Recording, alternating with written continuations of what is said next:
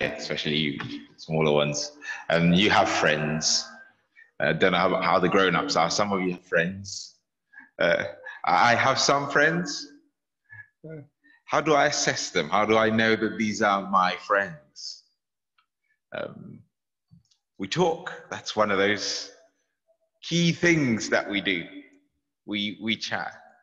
Um, we help each other out, right? They need a hand, I, I, I rock up. I need a hand, they, they rock up, right? Uh, we eat together from time to time. Uh, obviously, lockdown has hindered a lot of friendships from flourishing in the eating. Uh, but soon, God willing, we'll be back to the grilling and the feasting. Uh, we hang out. We know each other, um, both in the in the good times, but also in the in the not so good times. Here's a question: If someone only got in touch with you when they needed something, how long would it take before you stop being friends? Just just thinking. Uh, if you had an answer in your head of like the amount of months, you know, or, or the amount of times that have come to you, that's worth just holding on to. Yeah. If it's if it's um let's say the tenth time they ask me for help without ever doing anything else with me, I will know that we're not friends. Yeah? Are you are you with me? Are you tracking with me here? You assess your friends by the full balance of how you interact not by the specificity of one thing. Uh, uh, how many of you, I don't know, maybe don't raise a hand, uh, have a friend who um, only rocks up when the party's on? Do you know what I mean? It's like I'm moving house, I've got sofas and stuff like that to shift. You don't rock up. But when it's housewarming, yeah, there, you're there, yeah, shake a leg and everything. How many parties before you're not friends?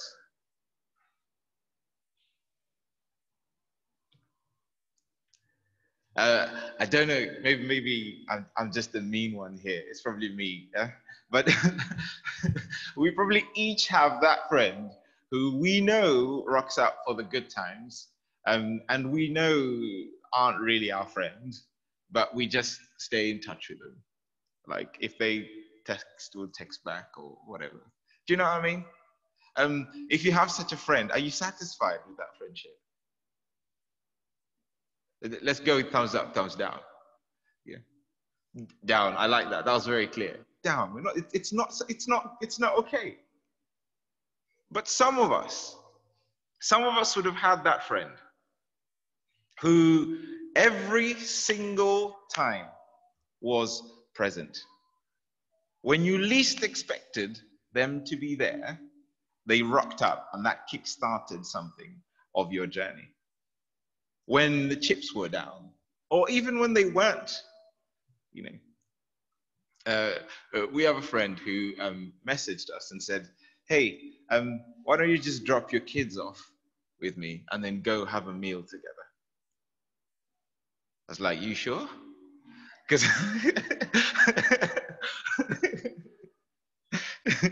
Because who does that? Who does that? Like, you sure? And so we went and we left our children with him and we had a nice meal. How much do I value that person right now? Huh? That is someone who knocks on my door at midnight and I answer the door with an open heart, right? There are those who someone would have rocked up on your birthday when everybody has forgotten with something. Someone would have rocked up on your most rotten day with a bar of chocolate or a hand to just put on your shoulder. Someone would have invited you to a walk or just come and knocked you out of your house and go, let's go, let's get out of this cloudy space. Someone would have knocked on your door with Prosecco and said, hey, today is a good day. Let us celebrate together. I've had, I have this good news and I couldn't think of anyone better to celebrate this with than you. A good friend has this key component to how they interact with you. And the word is this, and you can repeat it after me consistency. Consistency. Mm, it, it, it, if someone is consistent towards you, you trust them, right? Because they don't let you down, they are consistent. When a parent is a good friend, that is just phenomenal. When a parent is not a good friend, that is a hard place to be. When a child is a good friend, that is incredible. Uh, you guys will grow up soon. It's going to test you. Uh, being consistent with your parents when you have your own place.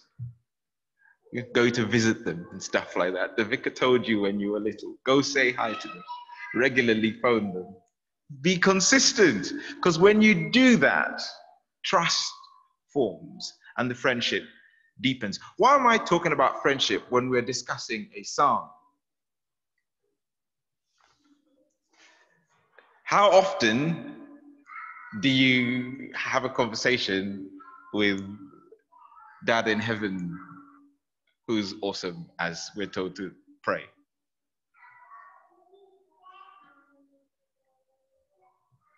When things are happy and going well, when the coffee smells brilliant, the hazelnut in the latte is just coming through, you know, and you've got the mug there, it's a nice day, you've got your book, the sun is shining. Or maybe you're sitting somewhere in a beer garden watching the bubbles rise in your jar.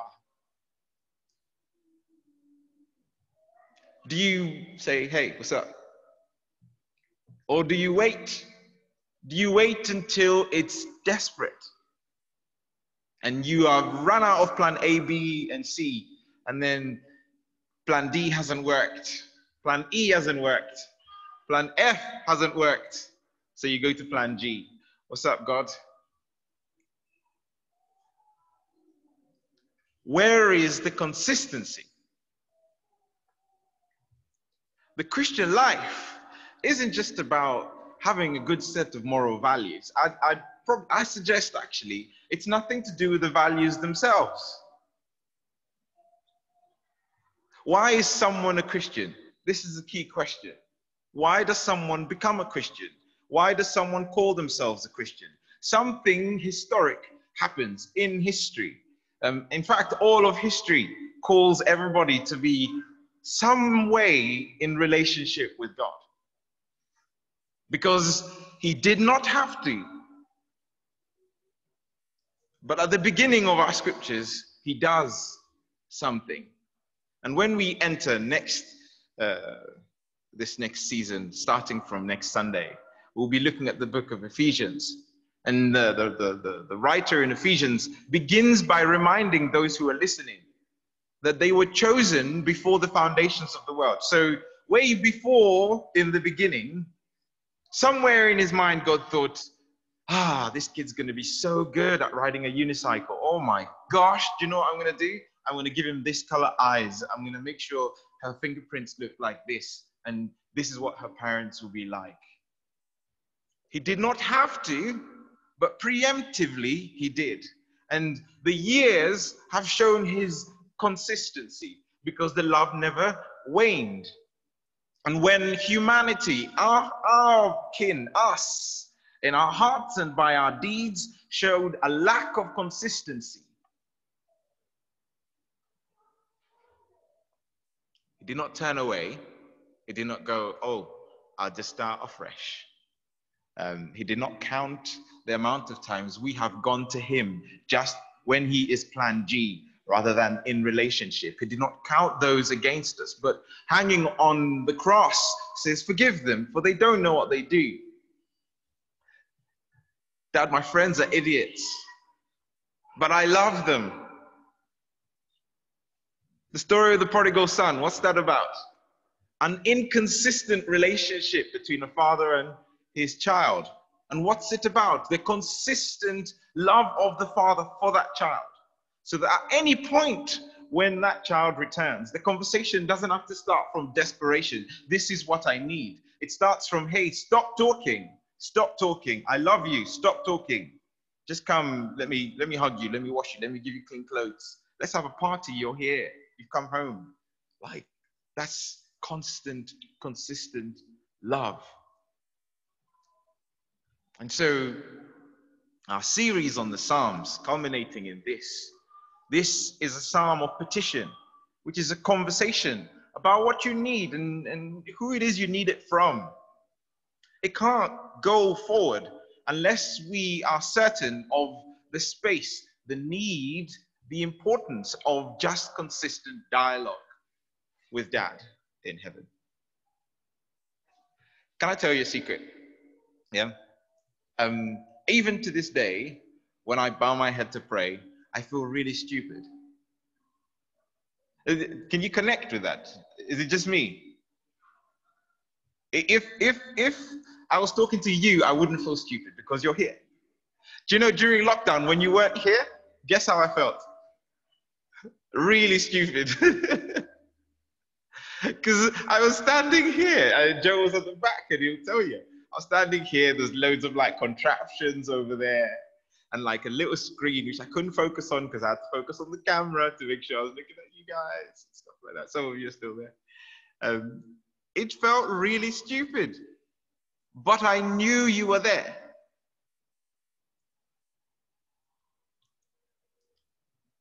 So even to this day, and I've, I've been a Christian since I was three years old. So that's that's a long way going. From then till now, it still has an element of folly to it. But I know he's there. I have no doubt whatsoever he's there. And it's in that space, it's in that space of choosing to go to the foolish place for my friend that our friendship actually deepens. Because I will pray in public, no worries whatsoever. Why? Because his consistency calls me to a consistency. He's, he's, he's never turning away, never feeling embarrassed about me, calls me to do the same. And so we talk. We talk when I'm eating ice cream. We talk when my mouth's full of pizza. We talk when I'm angry. We talk when I'm deep in laughter. We talk when the church is empty and I'm just walking here listening to music, preparing for the service. We talk when I've opened his word. We talk. And because we talk, when things go pear shaped, he's not plan G. And the dialogue is easier. And here you have David, who is described as a man after God's own heart.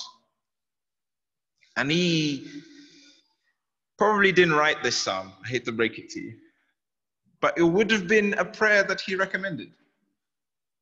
Someone in their wisdom took this piece of poem, added it to this book, and said, guys, this is a nice way to, to develop your language of conversation with God. You can say to God, hey, hey, I need you to hear me.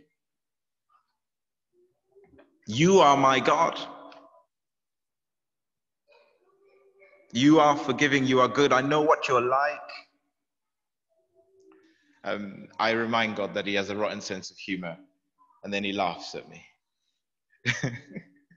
How do I know that? Because in my points of deep desperation, when I've said, Hey, can you sort this out? He's looked, and the sense I've got is Him going, which is power, because He's reminding me the circumstance I think is a mountain is this small for Him.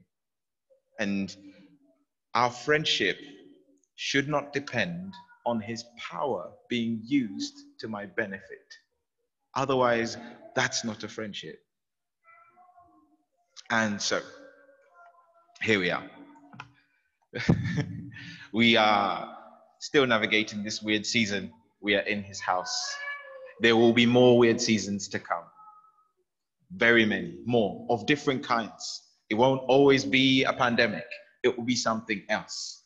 And my challenge to you for today, for this whole series of Psalms, and you can go back and watch and listen to all that's been taught, is this increase the level of dialogue that you have with our dad in heaven. Increase the level of dialogue and the quality of dialogue and the quantity of dialogue and the difference in the circumstances where you dialogue. Because when you become consistent, you learn more of his consistency.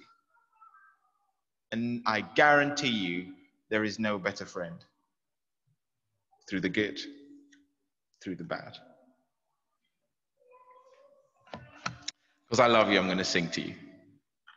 I know it's embarrassing, but I'm not ashamed of my friend and I'm not ashamed of you. Yeah? And as I sing, this is my song from the silence, from the places where I need to di- dialogue with him. It's not me who wrote it, but it conveys all that I'd love for us to take with us. And as I do, maybe your heart will start a conversation with him. Let us pray.